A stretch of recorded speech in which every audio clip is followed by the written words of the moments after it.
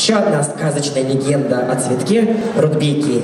Этот цветок похож на солнышко. Стоит посадить его один раз, и он самостоятельно из года в год будет вырастать вновь и вновь, не требуя никакого ухода. Рассказывают, что однажды трудолюбивые гномы нашли золото. Они долго работали, чтобы добыть его. И вот, когда они устали и уснули, мимо проходили дровосеки, которые похитили их золото. На утро, когда гномы не обнаружили свое сокровище, они решили проучить дровосеков. И на следующее утро, там, где было золото, появились эти прекрасные желтые цветы. Ну, а гномы, наверное, сидели в этот момент и пели «Ду-ду-ду», как это и делает наша замечательная красных Алена. Встречайте!